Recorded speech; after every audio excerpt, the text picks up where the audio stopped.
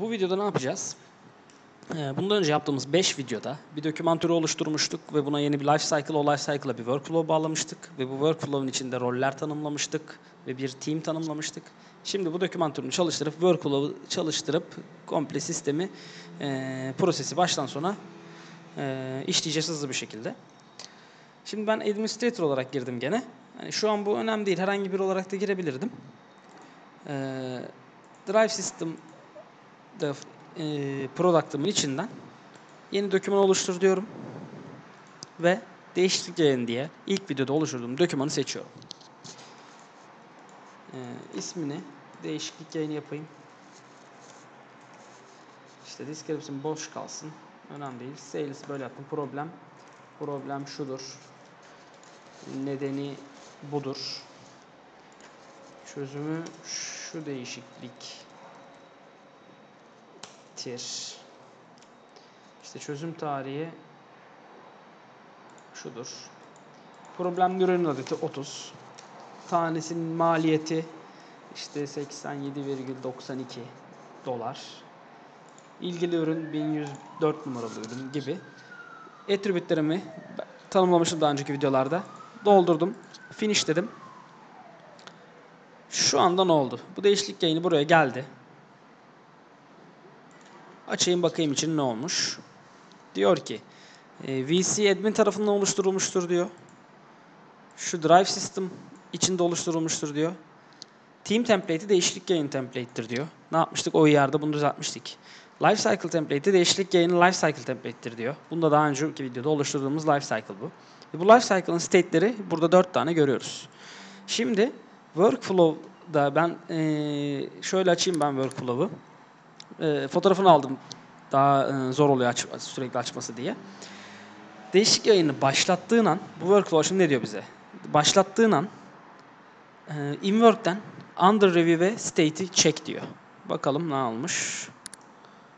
Under review ve çekmiş state'i değil mi? Şimdi eee workflow'u devam ettirelim. Ben bunu yayınla e, complete dediğimde az önce ne yaptı iş akışına göre?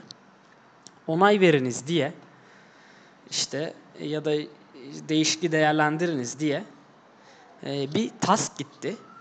Yani görev. Kime gitti? E, değişiklik e, bu görev kime gidiyordu? Design Team Leader'a gidiyordu. Yani e, tasarım şefi Cevahir Yıldırım olarak tanımlamıştık rollerde. Şimdi o zaman Cevahir Yıldırım olarak giriş yapalım ve task gelmiş mi bize bakalım.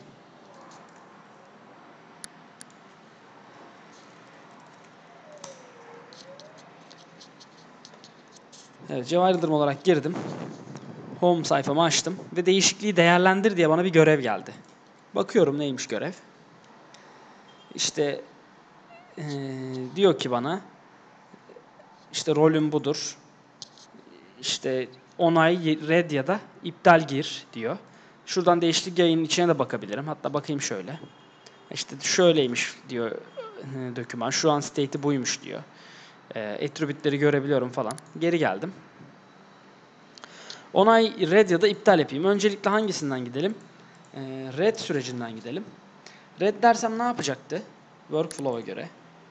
Red dersem değişikliği oluşturan kişiye revize ediniz diye e, bir task gidecek. Ve tekrar o kişi revize ettiğinde Cevahir'e yeni bir task gidecek. Hemen önce bunu çok hızlı yapalım.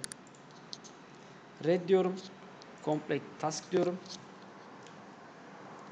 Şu an e, kime? Creator'a e, şuradan bakıyorum. Creator'a bir e, task gitmiş olmalı. Creator kimde? Administrator'dı. Admin olarak giriş yaptım gene. Ve e, sayfayı yeniliyorum. Tasklarıma bakıyorum. Revize diye bana task geldi. Tekrar girdim revizeye. Ee, işte revize edildi. Şunlar yapıldı gibi bir değişiklik yayını girdim. Complete task diyorum. E, şu an ne oldu? Tamamladım. Tekrar e, Design Team Leader'a aynı task yeniden gitti. Onay veriniz task. Yani bu döngü iş dediğimiz bu işte. Ee,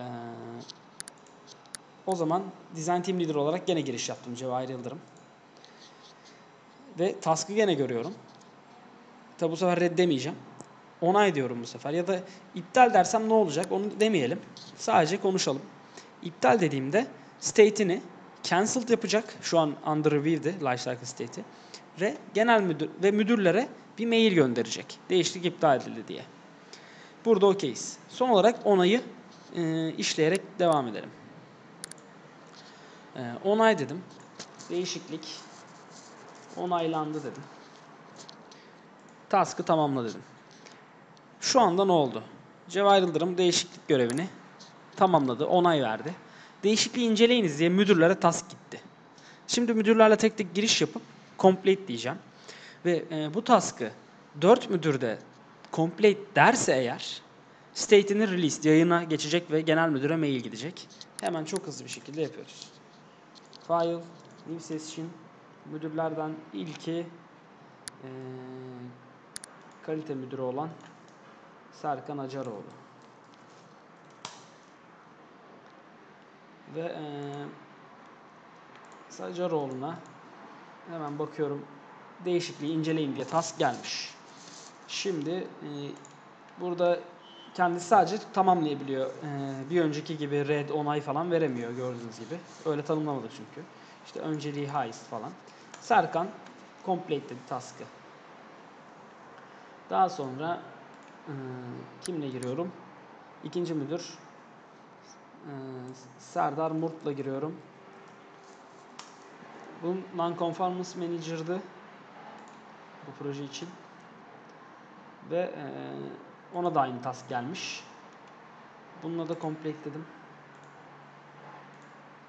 Şimdi Product Manager Rezan olarak Lynch ile giriyorum.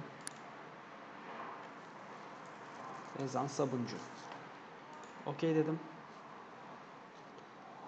Ve task gelmiş. Ee, complete dedim Rezan'dan da. Son kişim Project Manager.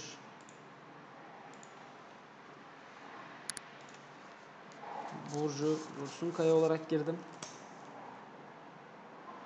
Ve aynı task gelmiş olmalı. Geldi. Burcu'dan da task complete dediğim an ne oldu? Ee, bu değişikliğin şöyle bakalım. 4 müdür de inceledi ve onayladı mı? Ee, notification olarak genel müdüre mail gitti. Şu anda e, Winchell'in olduğu yerde internet olmadığı için e, bu mailler gidemedi ama e, internet olsaydı çalışacaktı ve mail adresleri tanımlamam gerekiyordu gibi. Ama set state'inde released yaptı. E, hemen e, admin olarak gireyim ve bakayım ne durumda şu anda o değişiklik sürecim.